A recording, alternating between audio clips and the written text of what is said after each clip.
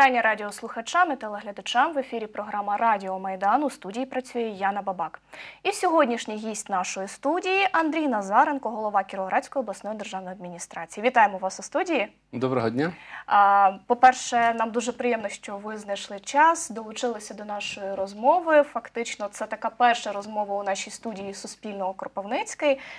І ми дуже раді, що якраз ми зможемо поговорити і про підсумки 2020 року, і про плани на 2021 рік. Є про що говорити, є багато цікавих моментів і нюансів.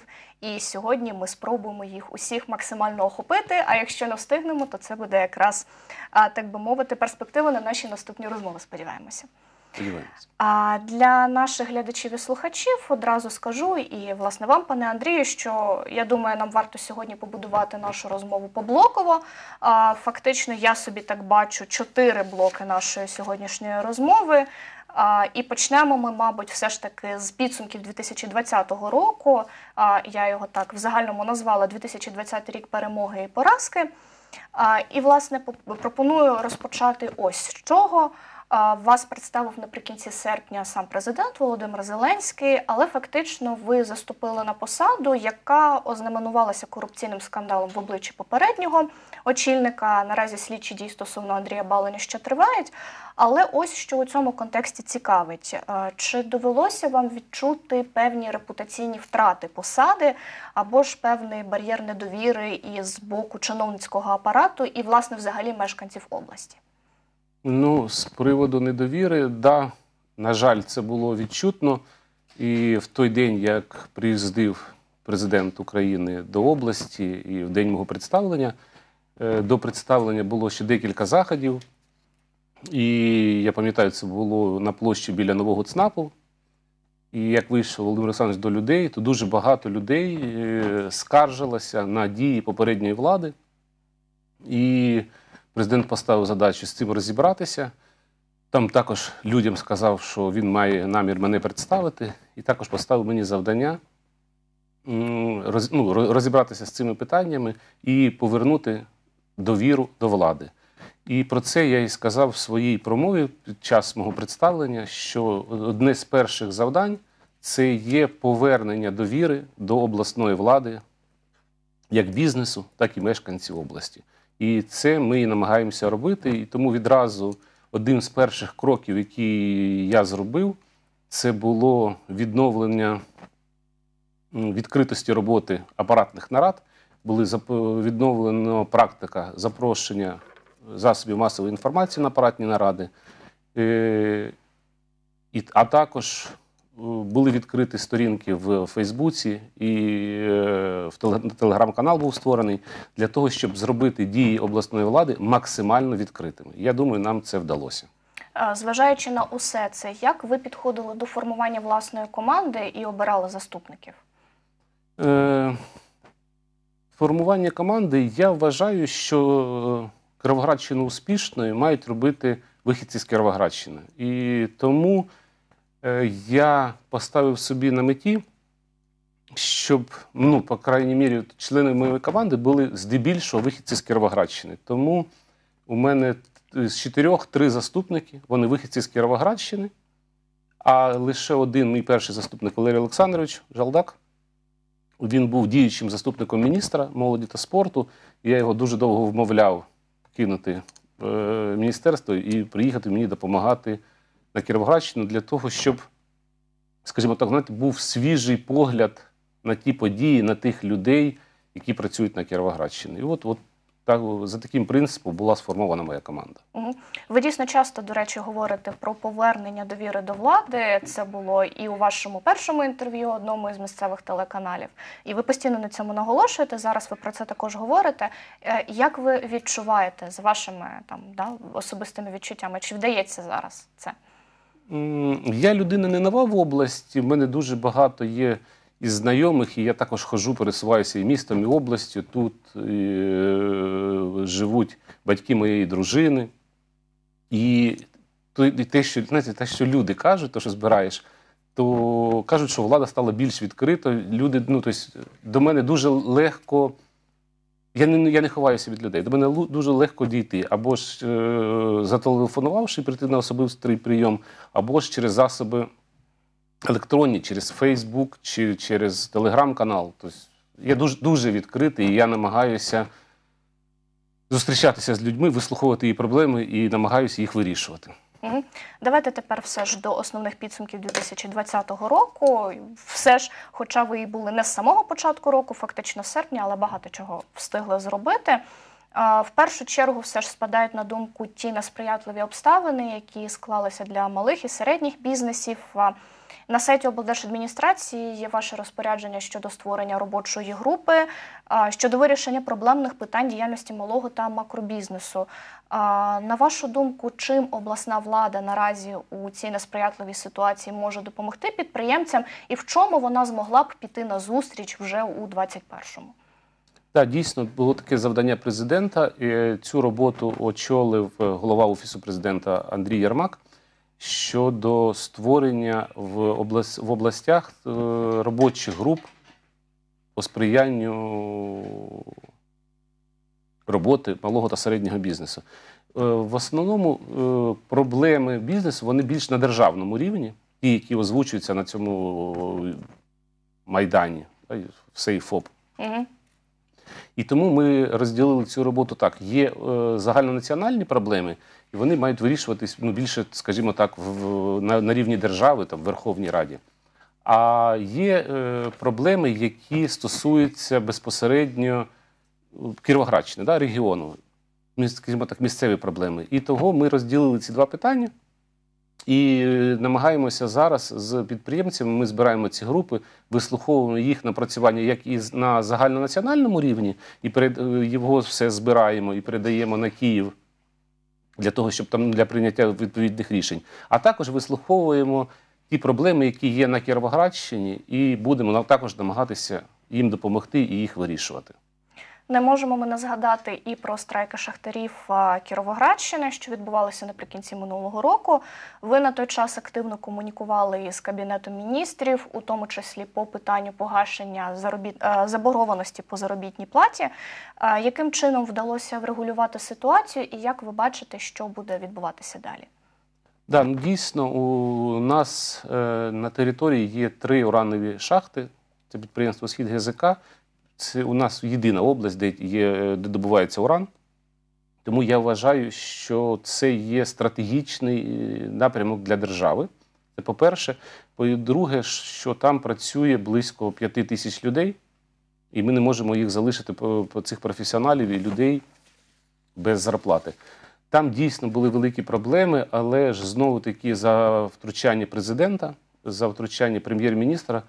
Ми, ми були почуті, шахтарі були почуті. Я зустрічався тут із представниками профспілок шахтарських, з першим заступником схід язика Вадимом Косаренко. Ми там взагалі були 24 на 7 на зв'язку. І спільними зусиллями хочу подякувати дійсно і президенту, і прем'єр-міністру, які це почули, і проблеми шахтарів почали вирішуватись. Там була перша проблема це повернення боргів по заробітній платі.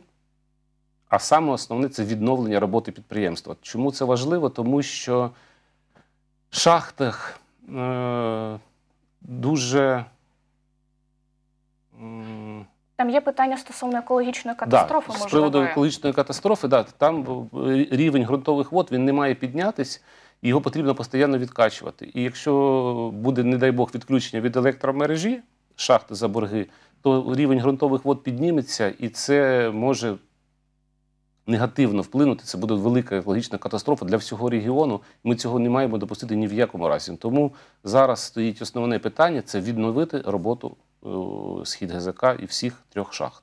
Цим ми зараз наразі займаємось також. Пропоную перейти до нашого наступного блоку. Це бюджет 2021 року, виклики і можливості.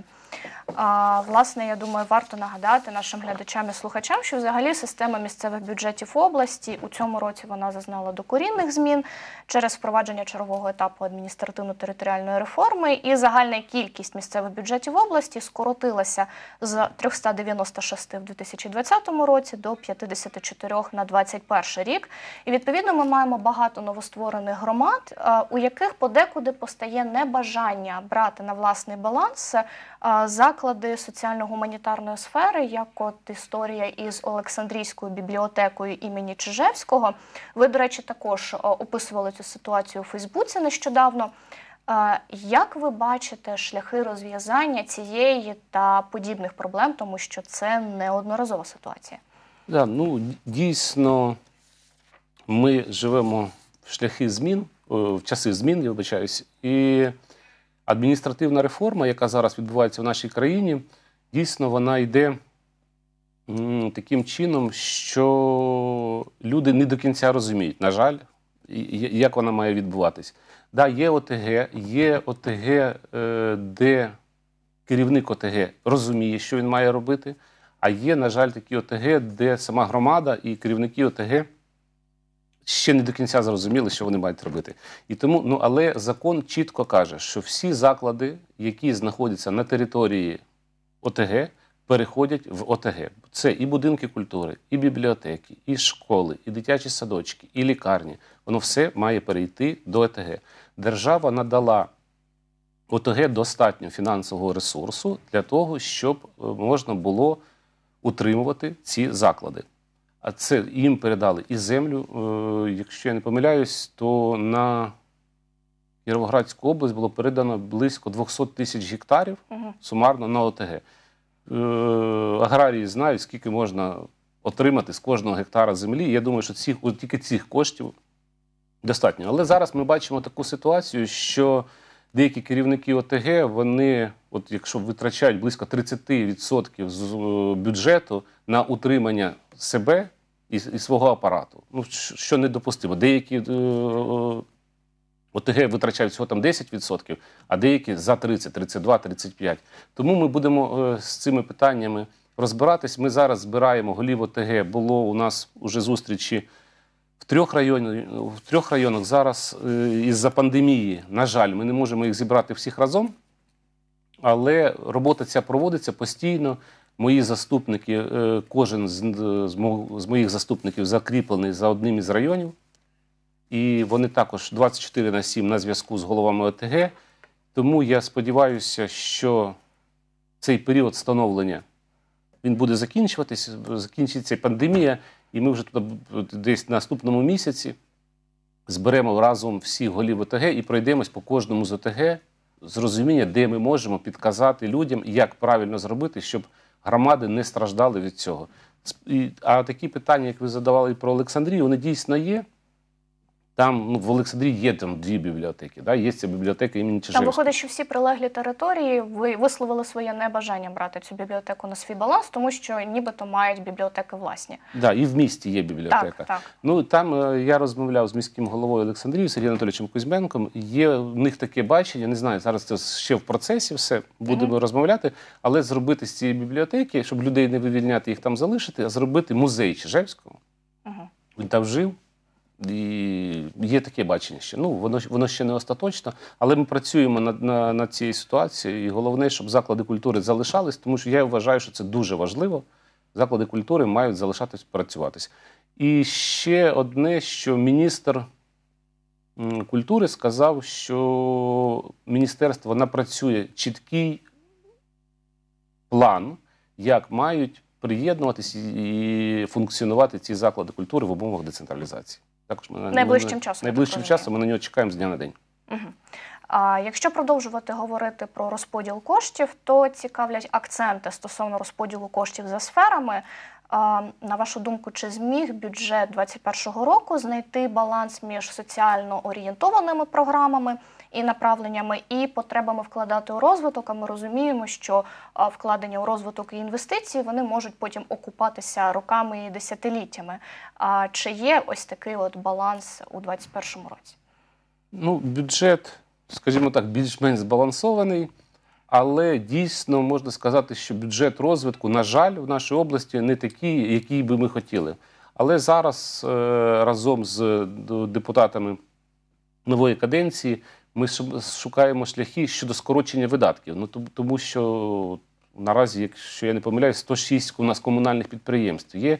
І я думаю, що от ми разом з депутатським корпусом маємо їх проаналізувати, зробити, що потрібно залишити, що не потрібно скоротити для того, щоб е, систематизувати ви- ви- видатки, видаткову частину бюджету. І потім вивільняться кошти, і ми зможемо їх направляти на розвиток Кіровоградщини.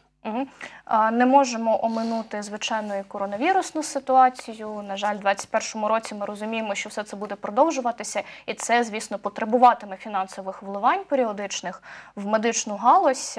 І які подальші кроки плануються обласною владою у напрямку медичної галузі, зокрема стосовно фінансування доплат медичним працівникам і тому подібне? Ну, по-перше, я хотів би подякувати е, лікарям, нашому департаменту охорони здоров'я. Дійсно, наприкінці року ми провели титанічну роботу щодо того, е, щоб наші медичні заклади були готові е, до приймання пацієнтів з коронавірусною інфекцією. Наразі у нас 100%, є такі всього дві області, де 100% ліжок, які виділені під боротьбу з коронавірусом, у нас обладнані киснем.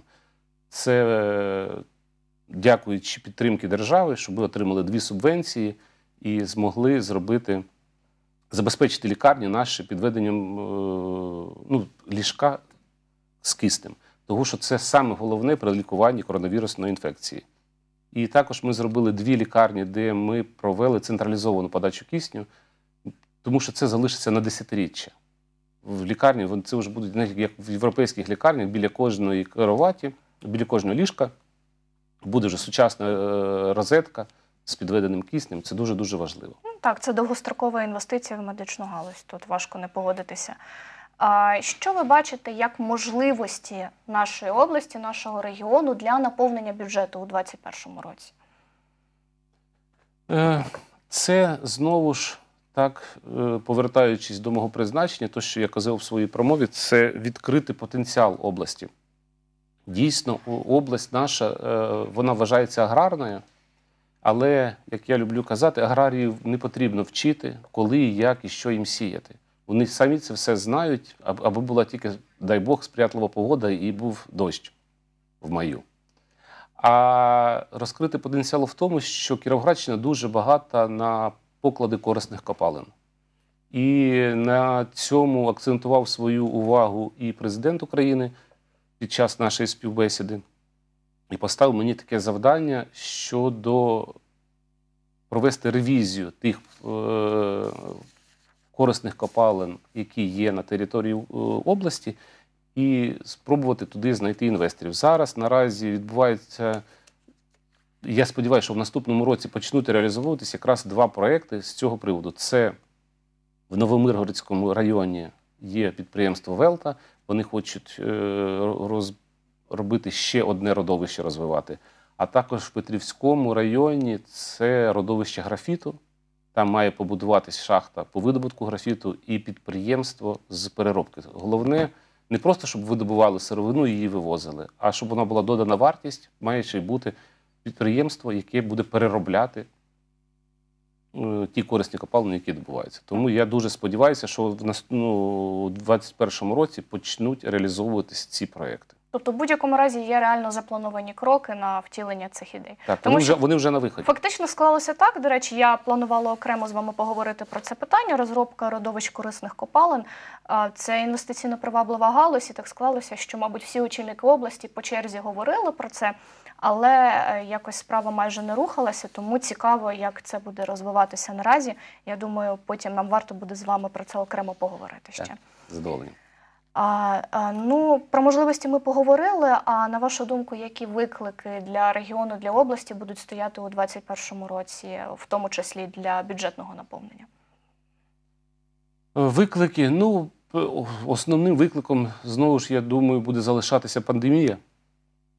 Тому потрібно буде і надалі боротися з, з нею.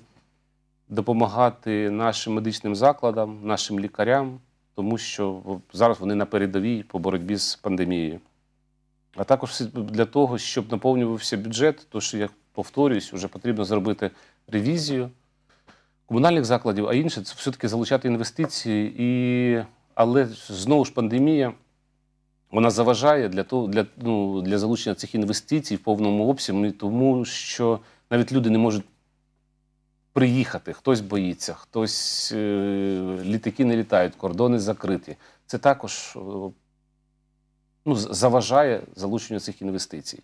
Тому я сподіваюся, що оці два інвестпроекти великі, які, про які я вам казав, вони почнуть реалізовуватись. Це буде поштовхом, і люди побачать, що можна працювати на Кіровоградщині і залучати інвестиції в Кіровоградську область. Мгм. Наступний блок нашої розмови це комунікація і співпраця із самоврядуванням. Він, він такий дуже цікавий і прикладний, як на мене. А про що я тут хотіла вас запитати? Ну, ми розуміємо, що для того, аби ефективно впроваджувати будь-які ініціативи, процеси, потрібна якісна комунікація між усіма, від е, кого залежить виконання того чи іншого рішення, і залежить, вдасться все чи залишиться на папері. Як ви бачите, і як уже на практиці вдається впроваджувати співпрацю із тими ж головами міст обласного значення? Чому я про це питаю? Тому що в умовах фінансової автономії місцевого самоврядування подекуди може складатися ситуація, коли е, фактично кожен сам собі пане господар, і не завжди є мотивація дослухатися до центру. Як ви бачите такі ситуації, і як ви вибудовуєте комунікацію? Ну, е, дійсно, я, як голова обласної державної адміністрації, не маю е, права втручатися в місцеве самоврядування. Тому ми ви- вистроюємо такі стосунки з мерами міст обласного значення, скажімо так, ділові. Е, Я досить давно знаю Андрія Павловича, мера міста Кропивницького. У нас з ним є повне порозуміння е, щодо розвитку міста, і є досить багато напрацювань проєктів, які б ми хотіли реалізувати разом місто і область. Е, Сергій Анатолійович Кузьменко, який е, мер Олександрії, теж я його дуже давно знаю, дуже поважаю, досить, дуже досвідчена людина. Він був головою адміністрації. Я думаю, що ті плани, які він перед собою ставить е, щодо міста нового рівня, в нього вони також складуться, і ми будемо всіляко йому допомагати, чим зможемо, е, як, як обласна влада. Угу. Два інших мера вони більш молоді, амбіційні. Також я сподіваюся, що в них все вийде, і громади не пожалкують, що вони обрали саме цих голів міст. У цьому контексті посада голови облдержадміністрації, на вашу думку, вона взагалі в першу чергу про що? Це про адміністративні важелі впливу чи про функцію посередництва між центром і територіями? Ну тут радше я якраз би хотіла запитати про ваш стиль управління. Він вам ближче який? Ну, я за фахом дипломат, і тому мені, більше про посередництво між центром і територіями. Я взагалі, не конфліктна людина, і я вважаю, що будь-який конфлікт мож, можна не доводити до конфлікту, а можна завжди домовитись з людиною, з групою людей. Це завжди можливо. Це краще, аніж воювати і, або ж ображатися один на одного. На вашу думку, реформа децентралізації чи вона залишила достатньо важелів впливу для обласних державних адміністрацій на те, що відбувається на територіях?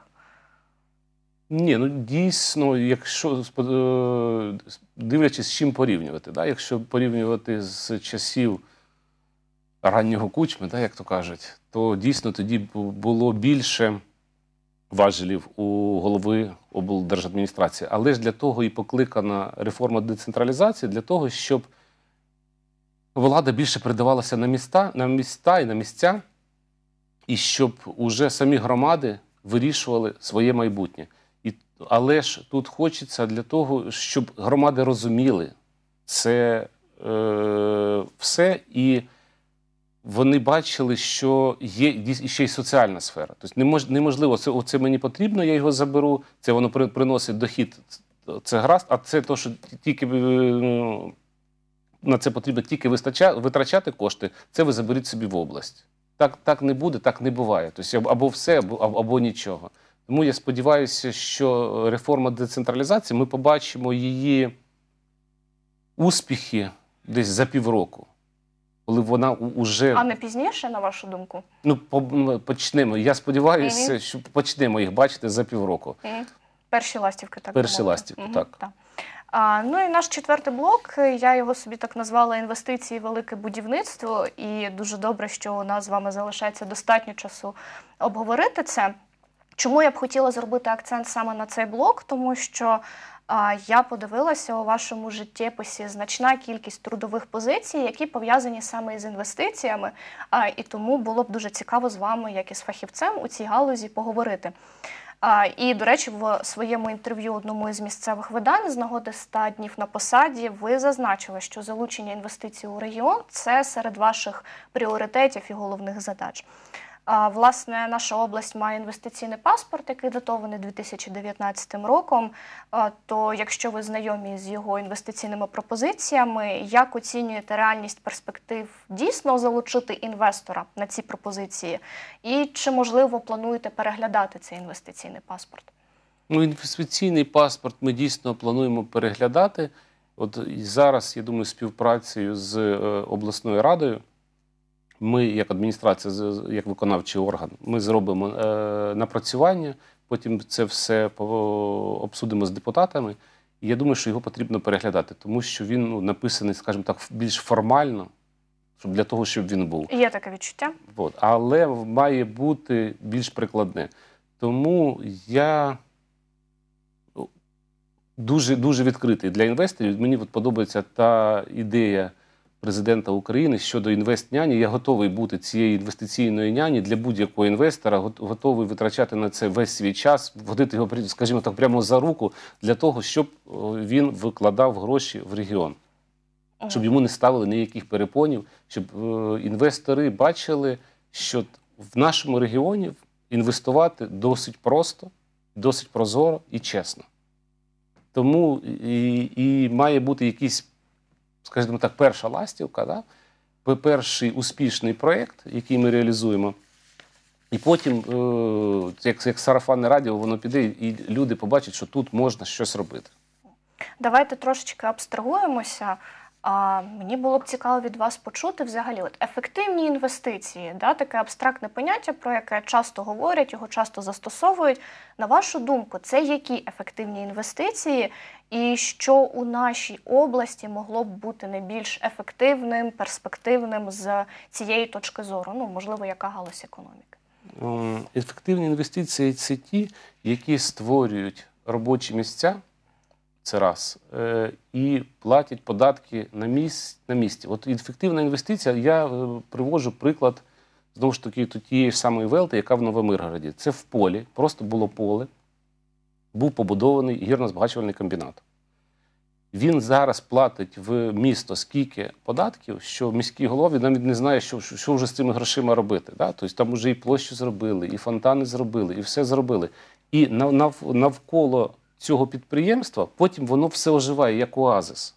Тому ми маємо знаходити такі точки. От я дуже сподіваюся, що такий самий проєкт уже в наступному в цьому році буде реалізовуватись в Петрівському районі по видобутку графіту. От як почнуть будувати шахту підприємство, туди будуть це будуть створені робочі місця. Підприємство буде зареєстровано на території, будуть платитися податки. І знову ж, а біля підприємства потім туди ж і школа, і садик, і все, все, все разом воно починає оживати. От, от такі інвестиції, мені здається, самі, що не на є актуальними для нашої області. Ще є декілька е, покладів корисних копалин Угу. В області. Це в Гайворонському районі, в Маловисківському районі, здається. Ну, а там ще воно трошечки далі. Я сподіваюся, що там почнуться роботи вже в 2022 році, тому що цей сам процес розвідування запасів він займає досить тривалий час, на жаль. Тут, тут уже по цим двом проєктам це вже на виході, вже розвідано, вже є інвестпроєкти. Я сподіваюся, що вже почнуться роботи, а там трошечки далі. Але ж також сподіваюся, що вони будуть ці, ці е, осередки робитися е, в певних районах, і нав- навколо них буде все, скажімо так, розквітати. Тобто, все ж аграрна галузь, а і видобуток корисних копалин. Так, ну аграрна галузь, ну, у нас землі ж більше її не стане. Тобто її ефективність дійсно, що міняється погода, потрібно, і зараз ми вже про це почали думати щодо можливо якось меліорації південної частини області, тому що от минулий рік показав, що без поливу, на жаль, досить поганий врожай. Це єдине, що мож, можливо, якась допомога е, в аграрній сфері. Все інше, тобто більше землі у нас не стане. Скільки є, вона вже і так розпахана вся. Трошечки повернемося до міста Кропивницького і хотіла б з вами поговорити про будівлю колишньої філії Нацбанку. Нагадаю глядачам, це історична будівля поруч площі Героїв Майдану. Це простір, навколо можливого призначення якого дискусії точаться не один рік точно, можливо, навіть там більше ніж 5 років. З 2019 року будівля знаходиться на балансі обласного департаменту культури. Були різні пропозиції. В основному всі вони стосувалися створення культурно-мистецького простору. А на вашу думку, яким чином область могла б залучити кошти для відновлення цієї будівлі? Тому що ми розуміємо, це має бути немаленька сума, тому можливо у вас є якесь бачення. Ну і стосовно призначення, можливо, до вас вже зверталися і також пропонували якісь цікаві ідеї. Ну, знаєте, я кожного дня дивлюся на цю будівлю з свого вікна, але коли я туди зайшов, і вибачаюсь, там стоїть відро і капає з потолка, ну це, це і я розумію, що щось з ним потрібно робити. Будівля дуже гарна, але там потребує вона ремонту близько 50 мільйонів для того, щоб її привести до ну, в нормальний стан. І справа в тому, що ми маємо це робити, тому що якщо вона ще простоїть рік-два безхозна, то просто з кожним роком її реставрація буде дорожче і дорожче. Е, є е, де- декілька підходів. Да? Мистецький арсенал це ідеальне місце для цього. Але, на жаль, тобто, е, в обласному бюджеті таких коштів немає. Одне це викор... е, витратити 50 мільйонів на реконструкцію, і потім же це все е, потрібно іще кожного року утримувати. Так? тобто сума орієнтовно десь обраховується в е, плюс-мінус 50 мільйонів. 50 це тільки ремонт. Реконструкція. Це реконструкція. Да? І тоді дійс- дійсно там було б можна було б перевести якісь е, частину нашого музею, зробити музей АТО, то що хлопці е, атовці просили. До вас зверталися звертались. Ми з ними туди разом ходили. Я їм показав, що не можна в цьому переміщенні взяти собі просто маленький кусочок в занедбаному приміщенні і зробити музей АТО. Його потрібно зробити в комплексі, як в Києві, цей мистецький арсенал. Мені дуже подобається. Якщо зробити, то дійсно якусь частину можна віддати під музей АТО.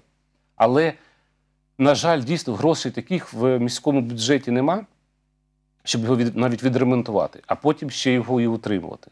Тому ми навіть сьогодні розмовляли про це з головою обласної ради, про ці будівлю. Потрібно щось думати.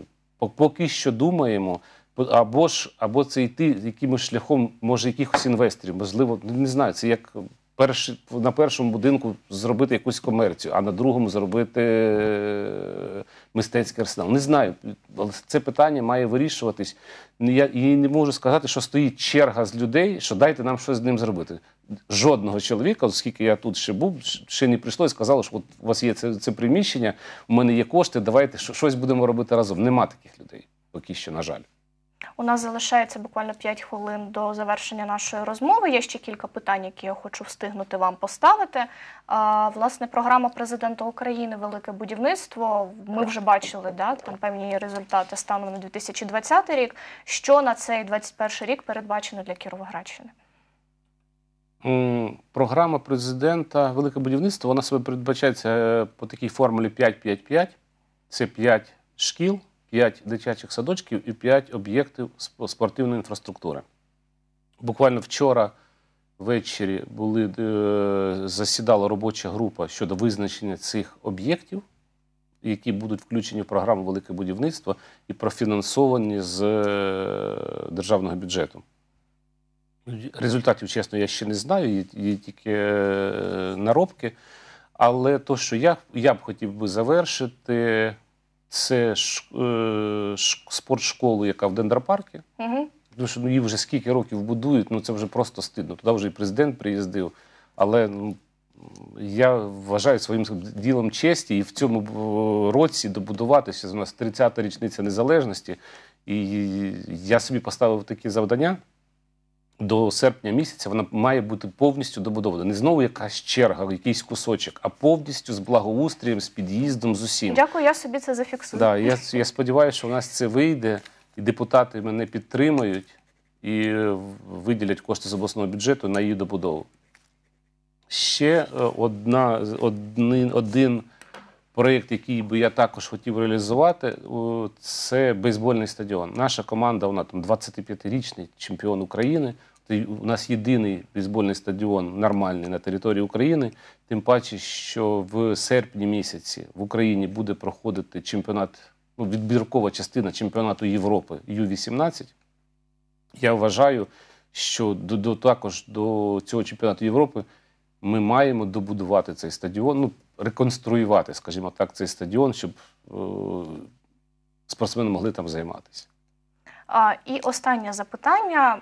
Не могла його не включити в наше інтерв'ю. Я розумію, воно для вас звичне, але все ж нашим глядачам і слухачам буде цікаво почути Макдональдс. Це тема, з якою власне ви заступили на свій пост.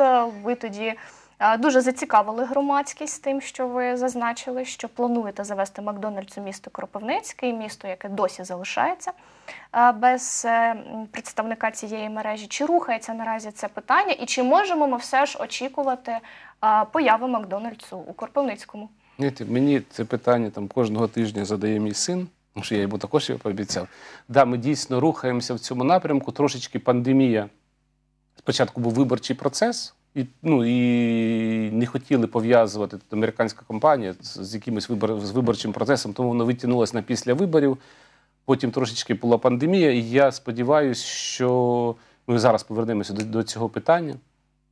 Я розмовляв з міським головою, він також підтримує цю ідею.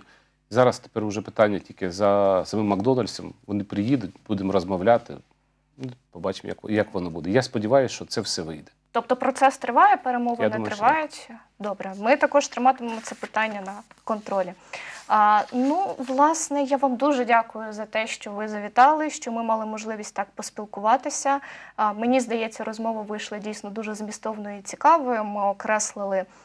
І основні здобутки 2020 року, і перспективи на 2021 рік. Власне, я собі навіть занотувала теми, які могли б стати темами наших наступних зустрічей і розмов. Сподіваємося, що співпраця Суспільного Кропивницький і з вами безпосередньо, і взагалі з нашою обласною державною адміністрацією триватиме плідно. І, власне, ми будемо зустрічатися ще не один раз на наших майданчиках. Ще раз вам дуже дякую. Дякую, Яна. А нашим телеглядачам і радіослухачам я хочу побажати в новому році. Головне це здоров'я. Всього дякую. Доєднуюся до цих привітань. Нагадую нашим глядачам і слухачам, що в ефірі була програма Радіо Майдан і спілкувалися ми із головою Кіровоградської обласної державної адміністрації Андрієм Назаренко. У студії працювала Яна Бабак. На все добре.